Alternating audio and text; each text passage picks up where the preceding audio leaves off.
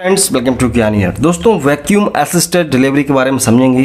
क्या होता है ये क्यों करना पड़ती है और कब नहीं किया जाता? सब कुछ जानेंगे इसके बारे में। वीडियो को पूरा देखना। पूरी जानकारी के लिए शुरू करते हैं। दोस्तों, आपने थ्री डेट मूवी में देखा होगा।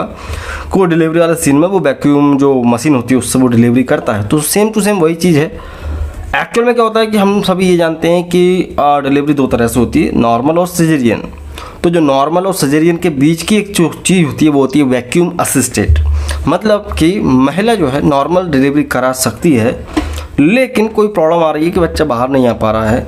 महिला इतना प्रेशर नहीं बना पा रही है कि बच्चा बाहर आ जाए, ताकत नहीं लगा पा रही है, धकेल नहीं पा रही है पुश नहीं कर पा रही है, तब उस स्थिति में वैक्यूम का सहारा लिया जाता है। अब इसमें होता क्या है? मशीन होती है नॉर्मल सी एक मशीन होती है जो कि मेडिकल के लिए होती है, ज़ाहिर सी बात है वो तो नॉर्मल नहीं दिखती है, लेकिन उसका काम सिर्फ़ इतना है कि वो वैक्यूम क्रिएट करती है, ठीक है ना? सक्शन पंप की तरह काम करती है। कप होता है, एक मेटलिक भी आता है और एक प्लास्टिक का भी आता है। दो तरह का कप होता है। तो जो भी परिस्थिति के अनुसार होता है यूज़ वो यूज़ करते हैं और कप को जो है बेजाइना के मुँह पर ओपनिंग पर लगा के बच्चे की जो सिर होता है, उससे उसको खींचा जाता है। क्योंकि वैक्यूम बनता है तो बच्चे का सिर उससे पकड़ में जाता है और उसको खींच लिया जाता है। तो बहुत सिंपल सा प्रोसीजर है। इसमें हो सकता है कि महिला को जो है एनेस्थीसिया दिया जाए लोकल एनेस्थीसिया दिया जाए ताकि उसको किसी तरह की कोई प्रॉब्लम ना आए। अब ये जो असिस्टेड वैक्यूम असिस्टेड डिलीवरी है, ये क्या होता है? सिजेरियन को रोक देती है कई बार।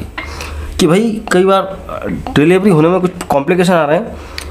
सारी सारी चीज़ें अच्छी हैं, लेकिन अगर आप वैक्यूम असिस्टेड डिलीवरी करेंगे तो आपको सजेरियन से बचा सकती है।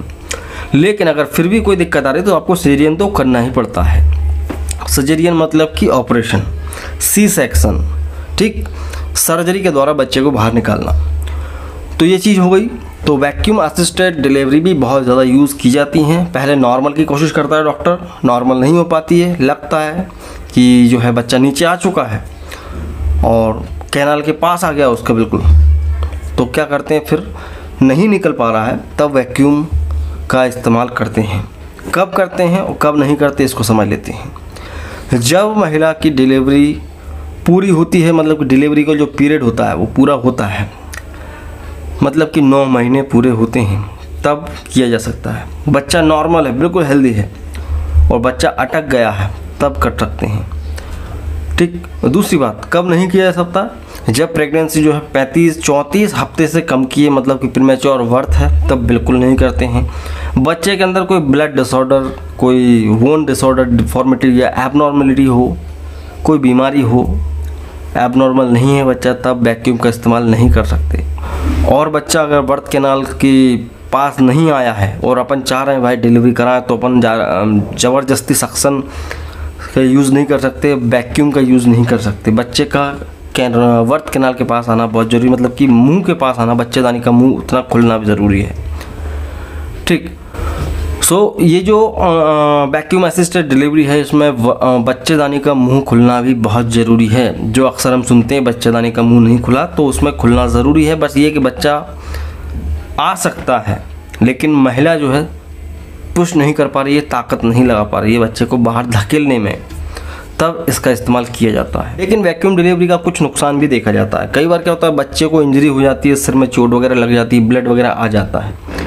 तो या सिर का जो साइज़ है, उस पर सिर पर, माथे पर, उसको निशान रह जाता है।